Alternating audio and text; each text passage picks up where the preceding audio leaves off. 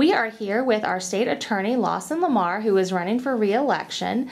And um, it's it's been an exciting race so far. And um, one of the things that I wanted to talk to you about, um, one of the responsibilities of your office that you've handled for for years is is grand juries. Um, what exactly goes into um, dealing with a grand jury? What, what's your preparation like? Uh, what's that experience like? I, I've never I've never done a grand jury myself. Almost no one has.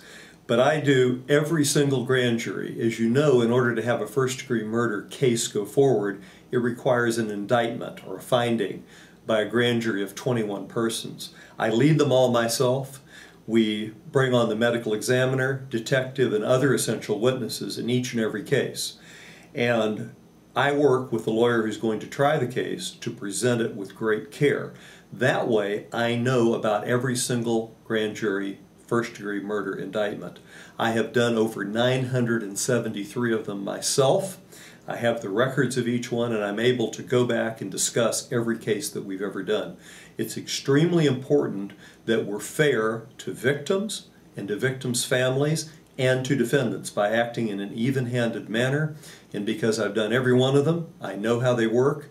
We do it together. It's complicated, medical examiner testimony, forensics, witnesses, and I love to do it. It's what I do, and I'm on my, I am now on my 94th grand jury.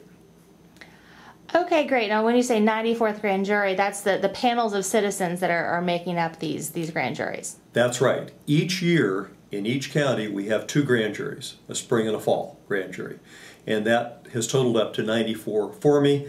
And over the years, I have records of 973 cases that I've worked. And I consider that to be one of my most important leadership jobs because they're the most important cases and it's the largest, most powerful jury in the county. Okay, great. Well, thank you so much. Thank you.